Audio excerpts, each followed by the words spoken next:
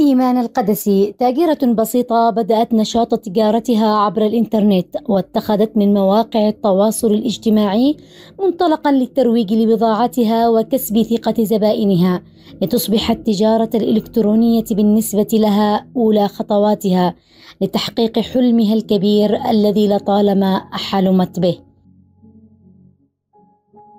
أشتغل في التجارة آه، أونلاين مبدئيا بدأت بالتجارة أونلاين وبحيث أنني كنت مستقرة في صنعاء. بدأت أنزل بضاعات وأعرض حاجات آه، يعني الأسعار بحيث أنه الأسعار بصنعاء أقل من أسعار تعز في 2016 2017 كنت أنزل لي صديقاتي زميلاتي وجيراني. آه، حبة حبة بدأت أجمع لي زبائن داخل تعز. بعدين بدأت العملة تفرق ما بين صنعاء وتعز وبسبب آه، فرق العملات داخل صنعاء وتعز وقفت التجارة ونزلت من داخل صنعاء. حاولت أنني أبحث عن شغل داخل تعز. في البداية عملت إيمان على فتح محل خاص بها لبيع الملابس النسائية. لكنها سرعان ما أغلقته تفاديا للخسارة التي قد تحدث لها جراء تحمل أعباء الإيجارات وغيره من الالتزامات الأخرى لتجد في التجارة الإلكترونية ضالتها المنشودة وحلمها المنقاد.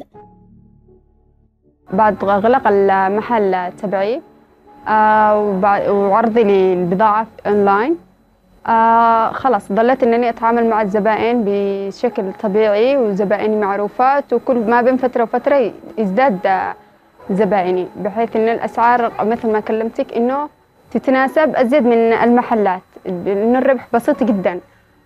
فخلاص ضلت إنني آخذ البضاعة وأتعامل مع التجار وأنزل بضاعتي أفرزها أنزلها لنيو مارت أحطها عند أي محل من المحلات هناك بحيث اني قد اشتغلت داخل نيو مارت ومعروفة عند الكل. يعني أي أي محل من المحلات ممكن إنه يطرح بضاعتي عنده ويجي الزبون ياخذ القطعة حقه. ازدهار التجارة الإلكترونية في اليمن عموما وفي تعز خصوصا شكل فرص عمل عديدة لكثير من النساء اللاتي يمتلكن رأس مال صغير حيث تمكن من كسر احتكار السوق للمنتجات والمستلزمات التي كانت تباع بأسعار خيالية. وقمنا بتوفيرها وبيعها بأسعار مناسبة وبجودة عالية. الأمر الذي ساهم في انتشارها واكتساحها في تعز. آه، الشيء اللي خلاني أشتغل بمجال التجارة الإلكترونية خاصة إنه طول الوقت يعني وفضاوتي داخل البيت إنه ما في شيء أستفيد منه غير إنني أجلس يعني أتعامل مع الزبائن أعرض لهم أرد على أسئلتهم أحاول إنني آه، أتفاهم معهم وأوصل لهم آه، كل شيء مفيد يعني لهم بحب. وهذا اللي خلاني آه، أظل بالتجارة الإلكترونية وبشغلي بالتجارة أكثر من أي شيء. كما أسهمت التجارة الإلكترونية في توفير الوقت والجهد لكثير من الأهالي حيث تختار الملابس المناسبة عبر الإنترنت دون الحاجة للخروج من المنزل للتسوق فكل شيء أصبح متاحا عبر مجموعات خاصة بضغطة زر ودون عناء ومشقة.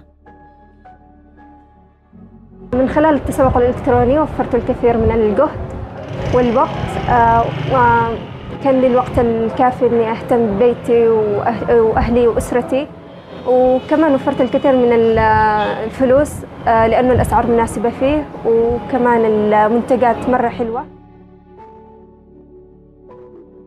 ظهور التجارة الإلكترونية وازدهارها في الآونة الأخيرة مؤشر ينبئ بتعاف طفيف في السوق المحلية في ظل الحرب والحصار.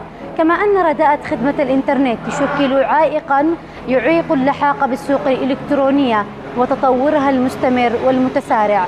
زبيد الوجيه لبرنامج أضواء سهيل تعز.